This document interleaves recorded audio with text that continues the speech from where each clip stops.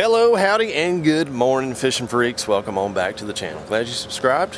Glad you're here today, hanging out with me on a fishing vlog, a kind of a special one, because we're going to be looking at one of my very first fishing rods, taking it out and seeing if it still can catch fish. So I just cleaned up the silver bullet is looking extra juicy. Got all the water spots off of it. It's waxed and everything coming off of Googan Week, you know, white claw cans everywhere, dirt and everything. So just cleaned it up. It is really hard not to take out a good looking clean boat. And I was digging around looking for some camping gear and whatnot. And I came across in the closet one of my very first, this might actually be the very first fishing rod I ever had. So I want to talk about this for a minute. So what makes this rod special is when, when I was growing up as a kid, my dad used to take me fishing in his brown Terry bass boat. I still remember that boat. He got me this pole. It's a telescoping uh, pole, and it's, it's, really designed to catch brim and crappie and uh, and all that. But he would bass fish in the front of the boat, and you know, as a kid, you're like casting around, you're, you're getting in your dad's way, your mom's way, or whatever when you're out there uh, on the water. A lot of times, I'm sure I'm going to encounter that with Emmy. You know, lures flying at you or whatever. So this kind of pole, a telescoping pole, there's no reel on it, there's no casting per se. It's just kind of a placement, you know, fish around trees or fish around docks or just fish open water up in creeks or whatever. We didn't have a huge bass boat, so we used to fish a lot of small waters. He would go and get me. We'd go to the gas station and we would get uh, little mealworms, like little grub worms uh, that come in those little containers like live worms do, like little yellow little grubs. And I would get those, I would put them on a little bitty hook. Sometimes I'd have a bobber, whatever he, he rigged me up. So it was very entertaining for me. And, and of course, you know, it just goes along. I can still like smell the old two cycle uh, engine, the gasoline, the oil burning in the morning. Just a lot of memories associated with this rod. So it's definitely something I'm gonna, you know, hanging up, hanging up in the in the tree house or the the cabin one of these days and just talk about it. So I thought while it's summertime, why not break out the old brim pole, my original brim pole, and see if we can uh, rig it up and catch some fish the old-fashioned way, how I used to catch them out of the back of the boat with my dad. Let's get to it. But first of all, we got to feed the chickens. They've been squawking at me. They're pretty hungry letting you guys in on a little summer routine here at the treehouse. I usually come out here early mornings while it's still kind of cool, water the yard, I feed the chickens, and I've been giving them uh, some water as well, like a big water tub, because some of them like to cool off in it, like they hang out. Easy girls, easy. The food is right here. Guess what? Food's right here. Yeah, the old girls know, the old hens know. These are the ones I really want to get the nutrition anyways because they're the ones laying eggs. So we actually have some leftover salmon in here. Uh, we've got a bunch of spinach. Spinach has got a lot of good nutrients for chickens. And then uh, we give them leftovers, literally. Just we got some of Emmy's leftover fruits and vegetables. I think there's uh, some little crab cakes in there. Y'all want to get you some? Y'all want to get you some of these treats? Oh yeah, little Easter egger knows. That's where the goods are.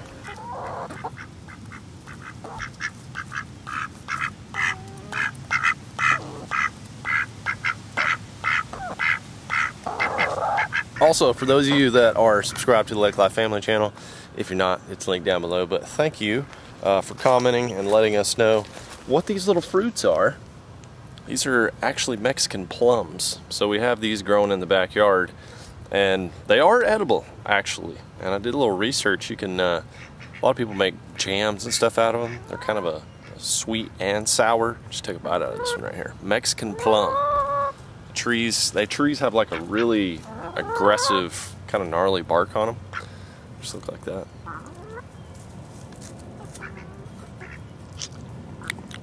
Got like a waxy exterior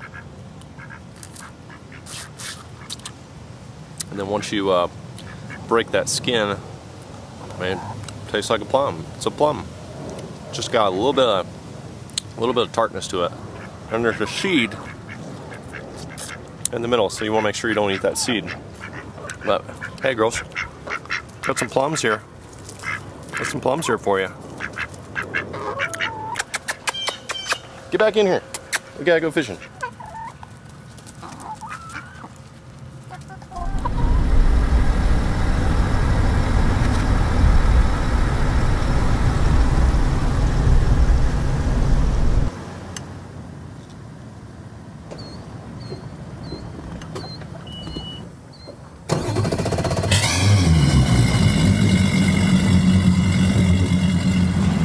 Just gotta tell y'all, I am not getting tired of hearing that motor start up.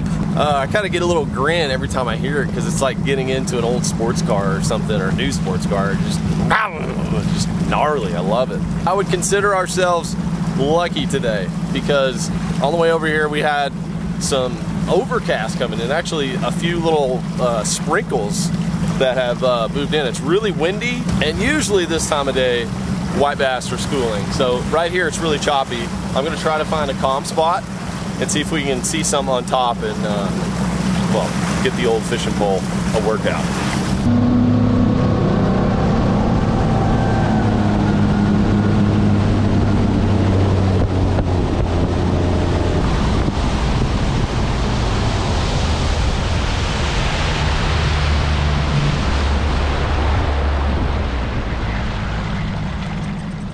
Okay, y'all, so we have located a lot of fish. They're below the surface. They're not really coming up at this moment. I'm hoping that they do. We'll show you how this, this rod works. So the line ties around these, uh, these two little, little uh, pegs right here, these little brass deals. You just wrap your line up on there and you don't want to have more line than the rod's length because that makes it really difficult uh, to fish. But I've got a, just a little loop knot around here at the end. I've got some 10 pound tests fluorocarbon on here and this just extends out. There's one piece. Oh, yeah, now they're all connected. Extends out into 10 feet, so wah bam. This time of year, they're normally feeding on small, small bait fish. I'm gonna rig up this, this spoon right here. I'm gonna be able to get it down a little deeper and I can swim it at the surface. I can just kind of drag it along, figure eight it, and hopefully we can get on them. Got some located.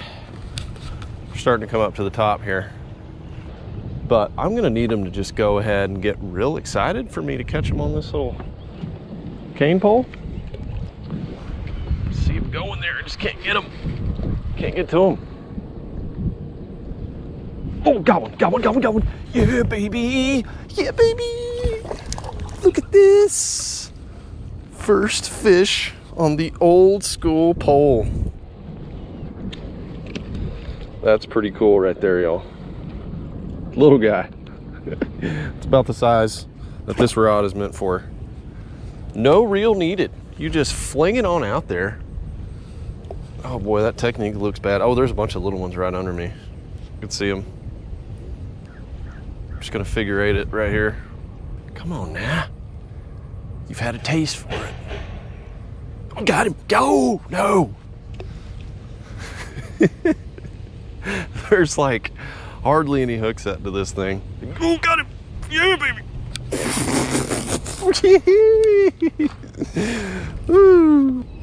There's two fish on the pole. Still doing it. Still doing it. White bass. These are little ones, but these are like perfect size for right now. Just get a little warm up. Oh, gosh. That was a big one that was chasing it right there. Got him. Got him. There we go. What we got? Yeah. Gotcha, boy. oh my gosh. That's fun. The rod just leans over. I want to talk about bringing back some memories. I think I'm gonna try another spot. See if I can get on some some more fish. Like the water should just be erupting right now. I want to see the eruptions. Oh, got him. Yeah. Come here, buddy. Got you. That is number four. Well, there must be a lot of shad moving through here. I would fully expect them to just go bonkers on some shad up at the top, but those shad are like on the bottom. So is anybody here familiar with this fishing pattern that I'm about to mention? It's um, it's called the scatter pattern. And basically what happens is you've got these fish located, dialed, and then all of a sudden they scatter. They scatter. Is anybody familiar with that? Am I the only one? Raise your hand in the comments. Let me know. What has happened is the shad which I thought with this overcast would be staying up top because they're low light feeders, feed on plankton, but they seem to be moving out deep and these these white bass are just kind of following they're they're scattered. You can see some here that are following the shad suspended and then there's some fish here on the bottom. I'm not really sure what they are, but you can see on both sides here like the shad have just decided to move on and be in weird positions that I would not predict. But what is happening is the sun is starting to come out. So things are changing. I was anticipating massive schools on top, just going crazy. And it was gonna be easy for me to take my pole and just dangle them like this. Literally, I was just waiting on them. Ran around a bunch, just looking for those scenarios. I haven't even seen the birds really lining the banks with, with shad up shallow. That's, this is normally like a pretty typical summer pattern. But you know, the fish don't always read the rule books. And I certainly didn't write the rule books. I don't know. They just said, man, sorry about it. We're going to go hang out in the deeps, get all suspended like, so you can't locate us on your little fancy electronics. I can. I can. I will let you know, fish. I just, it's really hard to get a lure down in your face and keep it there, especially if there's only like a couple of you. I want you all grouped up. I want you ganged up, ready to munch. But I digress. But what I also want to do is try to catch uh, some gills and then try to catch a bass. Any kind of bass on this rod is going to be ridiculous. It'll, it'll be funny uh, if I can even get the fish in. Hooked up on the bass, hooked up on the bass. Got a good old bass around the tire. Well, I hooked him good. Something I really like about the uh, those Mustad triple grips on our Googan, Googan Squad hard baits. Stick them good, especially in the summertime when their mouths are flimsy.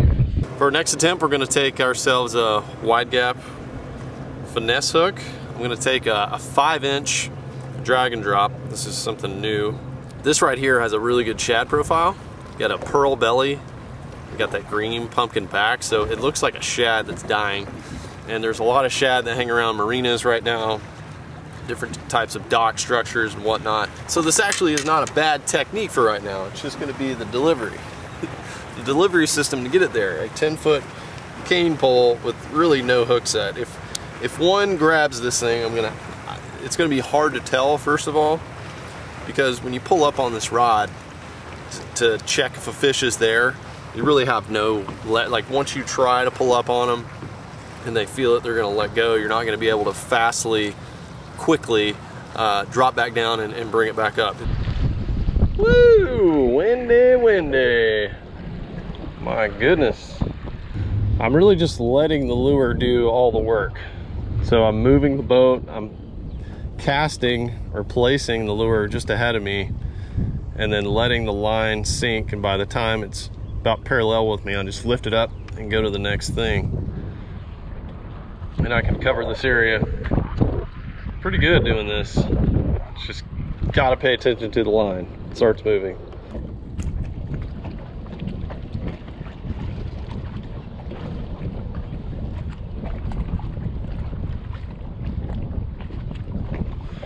Oh, got him! Oh my gosh! Yes! Yes! Yes! I got him, guys! Oh my gosh! I got a freaking bass. Yes. Oh, I stuck him good. Look at that. That was a two-handed magnum hook set there. Holy cow. Any bigger than that, that would have been quite the fight. Boy, you just swam out the exact way you needed to. Oh, clean you up, little buddy. Thank you for bringing back some old childhood memories. That was fun. That was cool. I was actually able to get a hook set on it and uh, and it swam out. Perfect way. It swam to the other side of the boat actually. I am going to rig up another one of those and just see if I can get maybe one a little bit bigger. But uh, checked it off the list. Wow, bam. Honestly, don't even know my biggest bass on that rod. It's probably about that size. That, that could have been, quite honestly.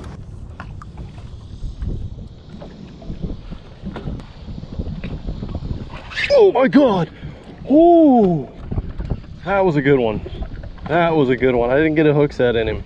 He was just running with it. Dad gum.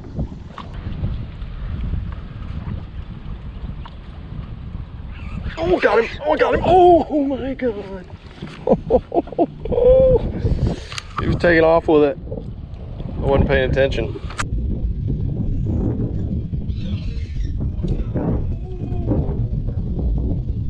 The wind is really kicking up now. It's blowing these clouds out of here. We're about to receive the full wrath of the Texas heat. So I was able to get one bass. I had another one on. I don't know how big it was. I mean, it, it felt tasty. Now I'm gonna fish it the way I remember the most, which is with a cork or a bobber, an indicator, you know, depending on wherever you are, whatever you call it. That's what I called it when I was a kid. So I'm gonna take a bobber like this. I'm gonna find the smallest hook in my boat. If I can scrap up a fly, that would be phenomenal. But I'm gonna try to find the smallest hook that I have and put it on here and see if we can get some uh, some gills or some sunfishes. And that's the way I used to fish this rod when I was sitting in the back of my, my dad's boat. Toss it out there up under a tree or whatever it is, watch the bobber go down, pull back on them, sling them in the boat, have a smile, maybe have a snack, maybe a you know a little combo or a, a starburst or Skittles, just whatever kind of snack dad got you from the, the Zippy Mart, and wabam, childhood memories made. LFD, shout out to you. That's my dad, by the way for introducing me into fishing. Well, she's a little breezy in here. I'm gonna give her a whirl. Oh, did take it. Must be small. Another one. Got him. Got him. That's what I'm talking about. There is your American Standard bluegill. Pork chop of the lake. Oh my gosh, there's another one on it. Another one on it. They, they're coming out of the woodworks for this thing.